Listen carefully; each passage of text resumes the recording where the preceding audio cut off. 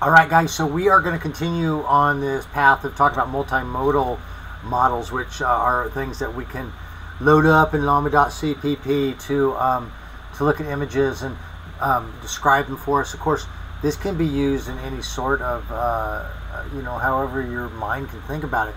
You could uh, be creating a game, and in the game, it describes an image that it describes to the user. Or uh, you could use it when you're trying to um, make your own image. You take an existing image and you want to uh, prompt it into your image generating software and then create something similar. Or you want to do forensic stuff and you want to look and say, what are they holding? You're not quite sure. Maybe the machine will actually know um, what that is. And so in our past video, we talked about a model called Bunny, which is just oh, it's awesome. So go check that out. Um, but there are times where some of these models, all of these things, they have blocks in them, they have censors in them that sometimes they don't want to answer uh, your questions. Okay, so typically the the big things that they're looking for is uh, you know violence, um, uh, nudity. Um, uh, you know, you know, whatever they call hate, um, that kind of stuff. So, um, what these models can do, though, is is we want to find the uncensored ones so that we can actually use them in our applications. What if you're making a horror video game and none of these bots will work because it won't uh, won't allow you to to have I can't have that conversation. Okay, well, so Wes Craven is a legit. Uh, movie maker. So I guess you're not going to speak with him or Stephen King or, or, or any of this kind of stuff. I guess maybe, you know, Saving Private Ryan, we can't have a conversation. So you see, the thing is, it, it, people hear uncensored, they think nude. Okay, and and let's be honest, most people they want to look at nude stuff. But the bigger picture is that you need stuff to do what you want to do with it. And if listen, if you want to do nude stuff, that's on you. That's not me uh, doing uh, saying that you shouldn't, and society shouldn't really be able to do that either. So that's where uncensored, unbiased things come uh, into importance. So, anyways, really quickly, we're going to um, look at a, another model over here that is not the greatest model in the world. It's a bit resource intensive, but it will give you the results that you want. Whereas some of these other ones, um, if you throw it in, they just won't give you an answer. Okay. So what we're going to do is uh, we're going to pop on over to the internet here and we want to do a quick search for share GPT okay and we'll put 4v and then we want to put gguf because that's the model we're going to need and uh, we want to look for the one that's from this guy Nakodanei okay. We're going to click that um, ignore this down here. What we're going to do is click over to our files and versions and just going to download these two to a folder okay? And then later we're going to come back to those because we need to um, need to get their paths. Okay, so um, now over here what we could do is click on this model card. This is how you run it, but this is using something called server.exe, which we're not going to be compiled to use right now.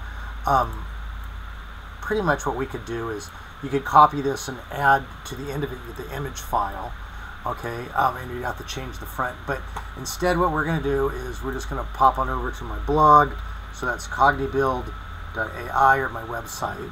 And then from there, we'll kick a blog. And we're going to look for this one, Uncensored Multimodal. Okay, so you can read that. And what we're going to do is we're just going to copy this. Okay, now, what we want to do with this is, oh, can you even see that? Oh, you can't even see that. Sorry about that. Makes me wonder how much of this you were seeing before. Okay, so we're just going to copy that all right, and then what we're going to do is we're going to pop on over to um, a notepad. We're just going to paste this in here. And you can see this one is using llama.llava or dash llava dash CLI, which means that um, uh, this is for newly compiled versions of llama.cpp. If you have an older version that doesn't uh, require the new naming convention, then you'll be able to just use, you can get rid of, you can actually get rid of this and run it as this. Now notice you're going to have to, again, copy in the paths to those things that you downloaded, okay? And you're going to have to put in a copy for a JPEG or whatever that you want it to look at. Now, um, I've gone ahead and already set this up, so we're going to go ahead and copy and paste this and then we're going to go over to our terminal. Okay, and we are going to paste this into here.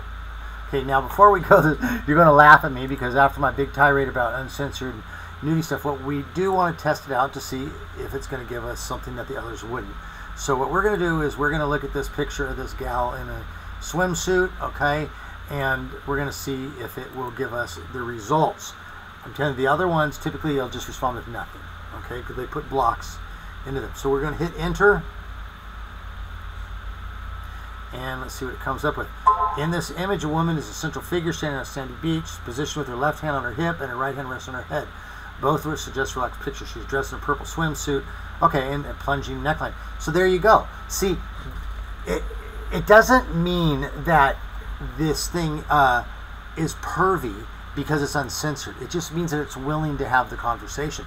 So this model uh, it didn't be like, oh man, she is like so hot and I'd like to do this and blah. And in fact, if you try to prompt it that way, it's still not going to talk to you like that. It's going to describe it in a professional manner, but it's going to describe it. Okay? So, like the bunny model, if you threw this into there, bunny model very likely wouldn't respond at all. Okay?